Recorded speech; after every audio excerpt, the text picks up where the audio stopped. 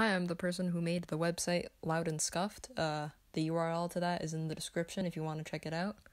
This video is just me showing you how I put my playlists onto cassette tapes because my car does not have Bluetooth or an aux cord, so I can only use cassette tapes. And uh, this is for anybody who wants to also put their music on cassette tapes. Yeah.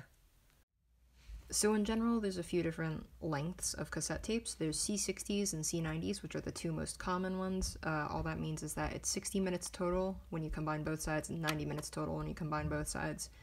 So, if you see a 60, that's 30 on side A, 30 on side B, 45 on side A, 45 on side B.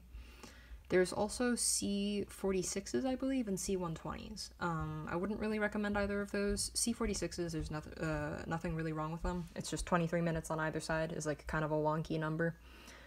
And C120s are just a bad idea since the tape is physically longer. You have a higher chance of um, whatever machine you're recording on or playing on just eating the tape and destroying it. So would not recommend either of those. Uh, stick with 60s and 90s. And for the purpose of this project, I'm going to be using a C60.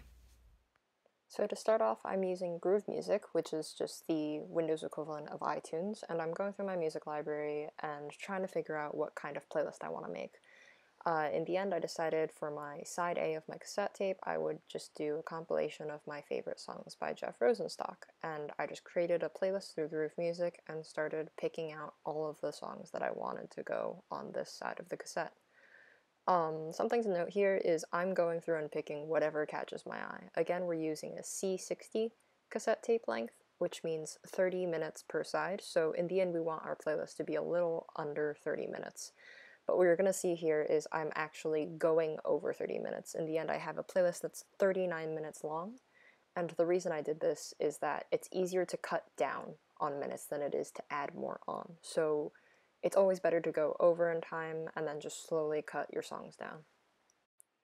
At this point, I usually pull out some kind of spreadsheet. I'm using Excel here, and I just put together two columns of information. One side is just the name of the song, and the other side is the runtime of the song. Um, you'll notice that I'm doing it in minutes format, so it's not minutes and seconds, it's just minutes.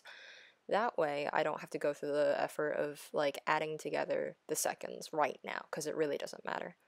Um, after putting all of that information in together, I'm using the auto sum function on Excel where I highlight all the cells and then click on that and it gives me my total, which right now is 38.62 minutes, which obviously is way too many. So now I'm just going through and picking and choosing which songs I want to keep, and uh, yeah, I'm just trying to get that number as close to 30 as possible.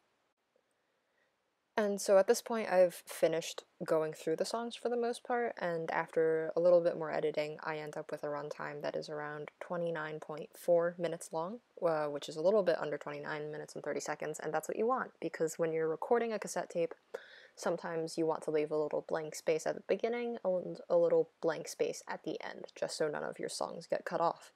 And uh, I usually leave around 30 seconds. So yeah, that's how I put together a playlist. And um, now that we have the time put together, I just go back into the actual playlist on my laptop and reorganize the songs in however manner I think would sound good. So at this point, we're ready to record. Um, I have the cassette tape already loaded into this deck on my boombox. It has a record function only on the bottom. I have my iPad with the playlist ported onto it through Spotify plugged in, and uh, yeah, we're ready to record. I'm gonna press play and record at the same time, wait like a good 5-10 seconds, and then start playing the music. And I'm just gonna let it run. I'll probably come back to check on it in like 30 minutes or so. Yeah.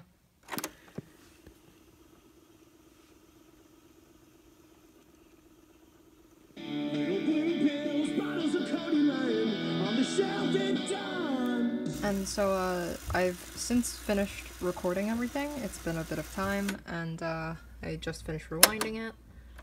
Press play and check the tape.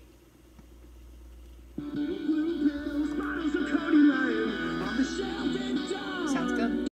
That concludes the video. This has been me showing you how to record a playlist onto a cassette tape. And uh, yeah subscribe, I guess. Like the video if you want to. Share it if you're so inclined. Uh, again, URL to the website is in the description, and uh, that's it. Bye.